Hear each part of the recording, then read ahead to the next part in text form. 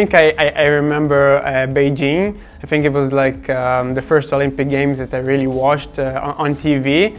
And if I'm trying to um, remember like a specific moment, I think it's it's Usain Bolt with the 100 meters because I know everybody was watching it and talking about it.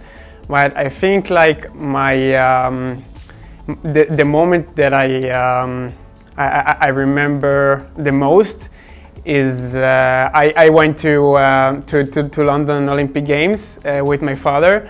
It was uh, like my uh, bar mitzvah trip and uh, it was like two, two years after I really celebrated it, but I really wanted to go. So I waited until I was 15 and then we went there and we watched some athletics and of course the triathlon and I remember um, seeing, uh, we, we got to, to, to Hyde Park like two hours before the race and it was completely packed with so many people, just like rows and rows and rows of people before the barriers. And we were just like standing there two hours before the start. And then when it started, I just remember like every time when, when the Brownlee Brothers came through, it was like, an enormous like shouting and you couldn't hear everything and the, the vibes were, were crazy and I think after that I, I really realized this is where I wanted to be and like this is the, the, the stage I want to race on and yeah I, I hope just that uh, eight years later I, I will be there too. Um, yeah, so uh, for me, uh, I could definitely say my father because my father was an Olympian himself. He raced uh, the 1984 uh, Olympic Games in, uh, in, in LA. And we kind of grew up on, on stories about his career and about his, his taking, it, taking part of the, of the Olympics.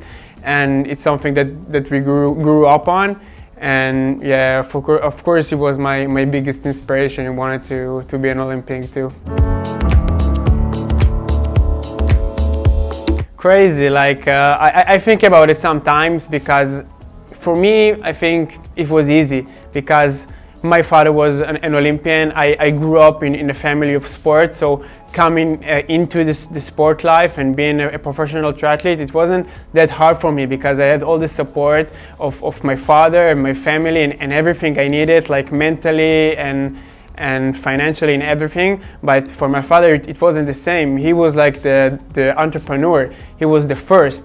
And for him to go to the Olympics, and he, he wasn't from a family did sport or any like very special stuff. So he was a, a, a really um, one of a kind, and he achieved everything by himself.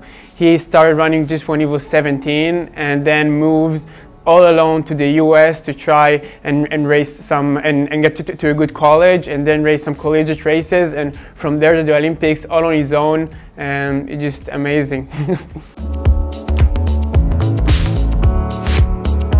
I think like the, the, biggest influence that my, my father had uh, on my career um, since I was like 12 years, years old and until now, it's just like always raising the bar. Because even when I was 15, I would come to, to race and uh, I would run three, 3,000 meters and I said, yeah, I want to do that time. And my father would look at me, no, Ran, you can do much better. You can do that time and, and race after that. No, you can do that. He was, he was always uh, taking care that we, the, the bar would be always higher. And when I uh, started to do international triathlon, no, you, you can't go just for top 20. You can go for top 10. You can go for a medal. This is what you need to aim for. And he, he, he, he learned, uh, he, he, he taught us that you really can't be um, compromise for anything. Just aim higher as you can. Yeah, um, I think the Team Mix Relay is, is a great event because it's always great to, um, I mean, we, we always uh, represent our country, but um, when we race individual races, we mainly represent ourselves, but when we race on the team relay, we represent our country first, and this is crazy, and, and this is like very, very uh, honorable thing to do, to, to just represent your country and your team, um, and yeah, it's, it's great. yeah, the format is, is, is really crazy because everything is, is so, so, um, so, so short.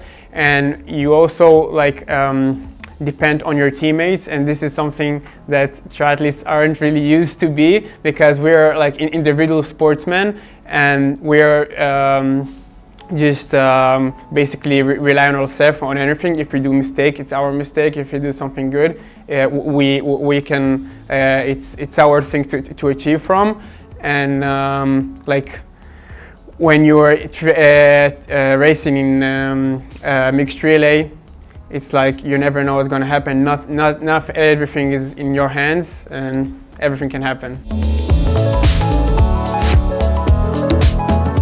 I would just go for like top. Um, I would say Katie Zaferes, my brother, Georgia Taylor Brown, and myself.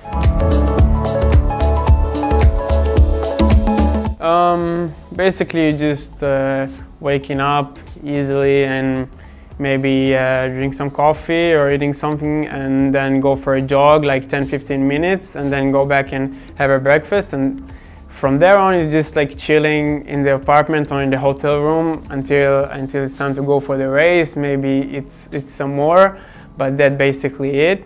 And yeah, like leaving for the race like uh, one and a half hour before the start. And then we have all the, the, the pre-race um, procedures, like going through the athlete's lounge, getting your uniform check, getting your bike check, all this stuff that it's like most like protocol stuff, but it's, always, it's also uh, getting you in, in race mode because this is what you do before every single race. And from there on, you know, um, like the, the, race is really coming. And yeah, from there it's just um, sitting on the lounge and um, everybody is in the same position as you. Uh, sometimes uh, have a little of chat. It's good to to just like um, get the the tension and um, yeah, from there, start. I approach uh, every race the same because my, my ultimate goal is just to be um, the best athlete I can be.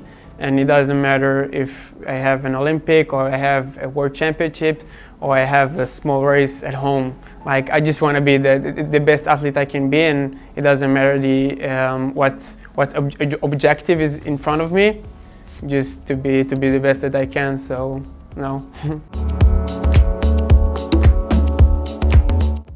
um, yeah, uh, uh, the, the, Olympic Games for me it's like the the, the biggest event um, that that can be in, in, sports in general.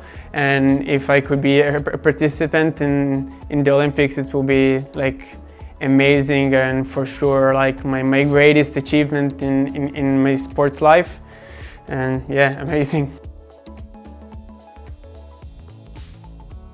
Yeah, um, I think it's going to be um, a great, uh, great Olympics. Like, um, just because of the, the preparation that uh, that is put on to this event and the race. I, I didn't race the um, uh, how do you call it? Uh, the, uh, I didn't trace the um, yeah I, I, didn't trace the, the test event but I, I, saw the race and I saw it was super, super tough especially the bike course and, and everything of course the of course the um, the weather and the hot climate and the humidity so I think no matter what everyone is expecting a really really tough and, and honest race. Um, especially uh, really um, Personally, for me, uh, not really, because um, like the weather there uh, is gonna be in the summer. It's pretty much similar to, to the weather in Israel. So I'm pretty pretty much uh, pretty much used to the heat and, and the humidity. Um, we're gonna stay in like uh, in pretty hot places, but mostly in, in Europe. Uh, nothing nothing much, and yeah. mainly um, just to, um, to, to, to enjoy what I do because I mean um, you can kind of just like being caught up in all this racing and tension and points and qualification stuff but you need to um, remind yourself why you're here and the ultimate reason why you're here it's because you love the sport you love what you do you love racing and this is what you hear. And it's not like just why you're here. This is this is um, basically it. Like it's fun. Um, uh, uh, it's great to, to be racing and, and traveling around the world. So um, I just try to, to, to keep in mind that. If there's something you don't know about Ran is that uh, I'm a student um, for uh, political science and international relations.